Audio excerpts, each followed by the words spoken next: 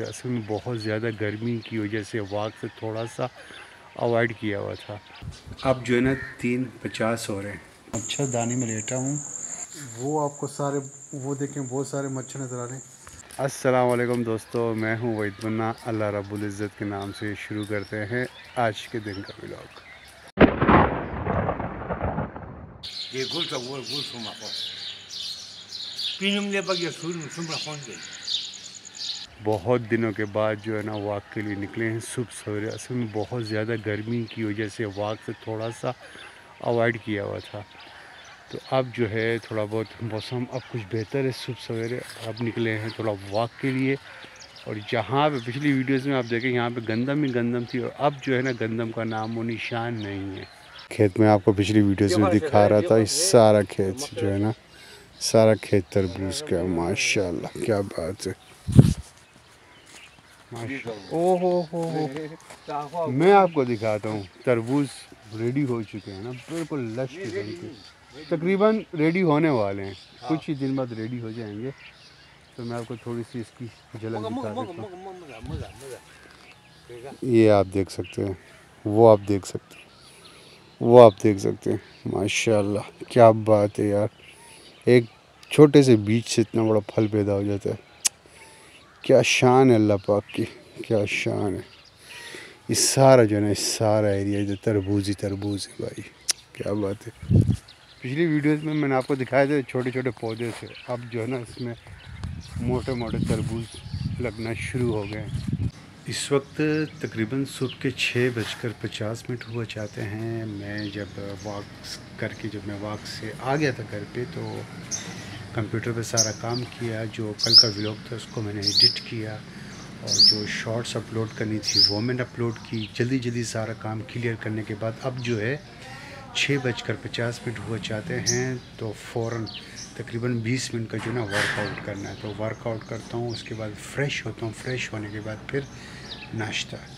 तो अभी मैंने अपलोड पे वीडियो लगाई हुई है। कल का जो मेरा ब्लॉग है, उसको मैंने अपलोड पे भी लगा दिया है तो मैं वर्कआउट भी करने लगा हूँ। तो मेरी मुलाकात होती है आपसे फ्रेश होने के बाद, नहीं, नाश्ते के बाद।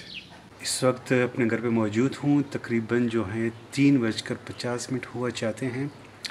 अब मैं ऑफ़िस से जब मैं आया था तो उस वक्त एक बज रहा था। तो घर पे आके थोड़ा बहुत काम किया, फिर थोड़ा बहुत आराम किया, फिर एक्सरसाइज की, जो वर्कआउट का टाइम था, साढ़े तीन, सवा तीन बजे का टाइम वर्कआउट किया।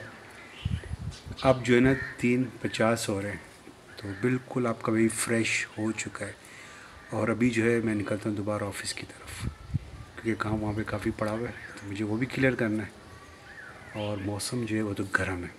दोपहर के टाइम पे मैं सोचता हूँ कि मतलब उस तरह के मैं आराम नहीं कर सका, जैसे कि करना चाहिए। दो घंटे कम अज़ कम, दो से डेढ़ घंटे। मतलब सुबह चार बजे का उठा हुआ हूँ और अभी तक कंटिन्यू तकरीबन उठा हुआ हूँ। सोया नहीं रात को फिर ईशा के अजान के बाद आँखें ऐसी बंद होती है ना कि बस कोई दुनिया का होश ही नहीं होता।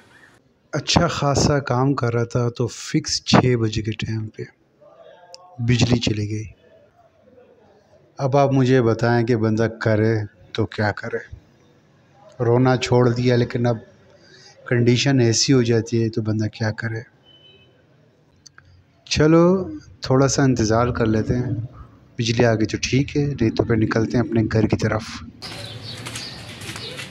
अल्हम्दुलिल्लाह, इस वक्त अपने घर पे मौजूद हूँ। तकरीबन टाइम हो रहा है साढ़े छः। अच्छा एक और सीन हो गया। मैं ऑफ़िस बंद करके जैसे निकला, रोड की तरफ़ आया तो बिजली आ गई पीछे से। मैंने सोचा कि आधा घंटे आए फिर जो है वापस घर पे आना है। तो इसलिए फिर मैं वापस गया ही नहीं। तो मैं सीधा घर पे आ गया। तो अभी अपने घर के सहन में मौजूद हूँ और टाइम हो रहा है छः बजकर तीस मिनट। तो धूप अभी भी है। मौसम मतलब दीवारें तो ऐसी हैं जैसे वो कहते हैं ना कि तपी हुई हैं। गुस्से से जैसे बंदा तपता है और गर्म हो जाता है इसी तरीके से दीवारें भी तपी हुई हैं। तो इस वक्त मैं अपने घर पे मौजूद हूँ। तो भाई मच्छरदानी में लेटा हूँ। यकीन करें, मच्छरों ने मुझे जो ना चारों तरफ़ से घेर लिया। वही सीन मेरे साथ इस वक्त हो रहा है। फुल जो ना शोले फ़िल्म का सीन है। गब्बर सिंह को चारों तरफ़ से पुलिस ने घेरा हुआ है। तो यहाँ पे जो सारे ना मच्छर ही मच्छर है। तो अभी मैं आपको दिखा दूँ। सही आप शायद यकीन ना करें। ये ये आपको मच्छर नज़र आ रहे हैं। ये आपको मच्छर नज़र आ रहे हैं। ठीक है? और ये आपको मच्छर नज़र आ रहे हैं। और किधर है भाई? ये आपको मैं दिखाता चलूँ। ये आपको सारे मच्छरों का, जो ना सीन दिखाता चलूँ। ये आपको मच्छर नज़र आ रहे हैं। ये आपको मच्छर नज़र आ रहे हैं। और ये आपको मच्छर नज़र आ रहे हैं।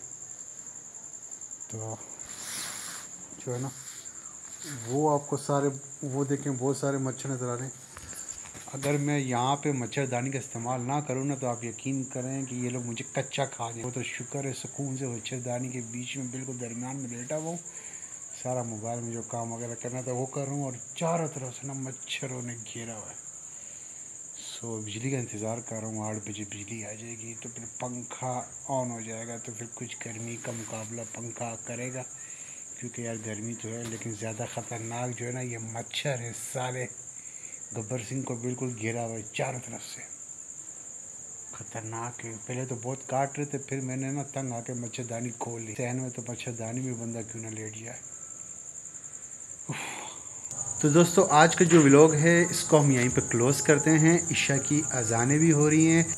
और अल्हम्दुलिल्लाह पूरा दिन खैर खैरियत से गुजर गया। अगर आपको आज का ये व्लॉग पसंद आता है तो इसको लाइक करें, शेयर करें। अगर आप इस चैनल पर नए हैं तो इस चैनल को सब्सक्राइब कर दें। मैं मिलता हूँ आपसे नेक्स्ट वीडियो में। जब तक के लिए पल ख्याल से आते ही। असलकुम